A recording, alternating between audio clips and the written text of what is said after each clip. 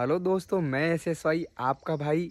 Guys, आज हम दिखाने वाले हैं कि गाँव में जो छोटे मोटे खेती करते हैं, हम लोग जो अपने घर के खाने के लिए खेती करते हैं, उसमें हमने आलू लगा दिया, लहसुन लगा दिया। इसके बाद भाई, हम यहाँ पर यानी पोटैटो लगा दिया, गार्लिक लगा दिया। अब हम लगाएँगे चुकंदर बीट रूट बीट रूट थोड़ा सी खेती में लगाना है, इतना ही खेती में लगाना है, ये देख सकते हो।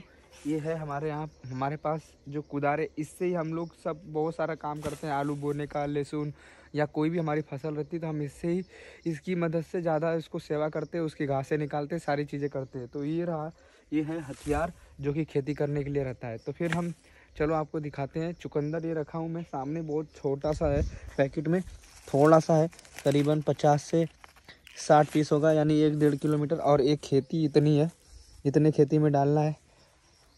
तो मैं यही दिखाना चाहता हूँ कि चुकंदर की खेती मैं किस तरीके से लगा रहा हूँ और गाँव में जो छोटी मोटी खेती लोग करते हैं, उसके लिए ही वीडियो बना रहा हूँ दोस्तों।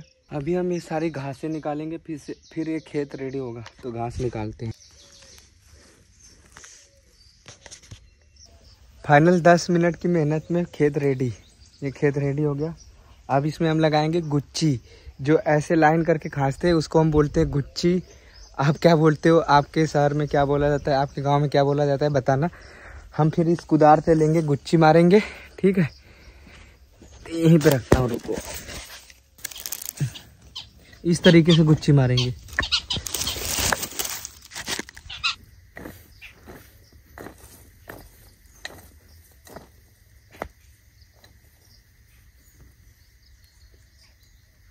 लिए हमारी गुच्ची हो गई, अब हम इसमें बोएँगे चुकंदर।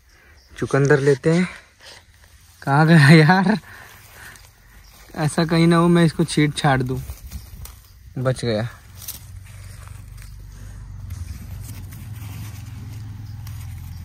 मिट्टी मिक्स हो गई।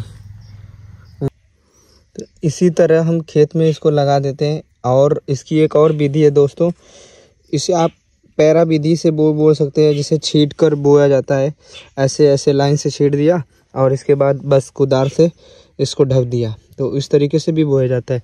लेकिन हम दूसरे तरीके से बो रहे हैं और इस पर मिट्टी चढ़ा देंगे ये वाला फूल। इसका फुल प्रोसेस बस सेम ऐसी तरह से मैं सारा बो दूँगा। तो एक लाइन से आई होप कि आप लोग को समझ में आ गया होगा।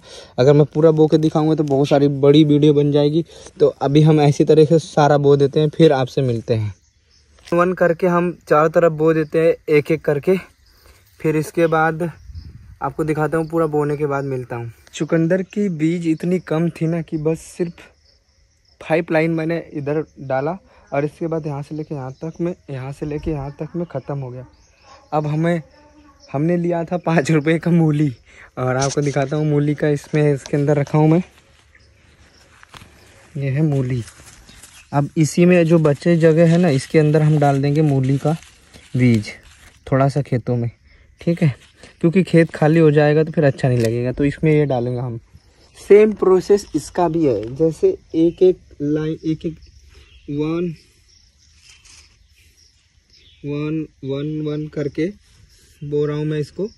इसके खेत मिट्टी में डाल रहा हूँ, तब तब ये बड़ा होगा तो इसके अंदर फल लगेगा और अच्छा से लगेगा। अगर मैं इसको ऐसे छीट दे रहा हूँ ना तो ये तो उग तो जाएगा, लेकिन ये अच्छे से क्या होता है, मूली मोटी मोटी नहीं हो पाएगी अच्छा नहीं हो पाएगा। इसके वजह से मैं इसको वन वन करके, लाइन करके बो रहा हूँ।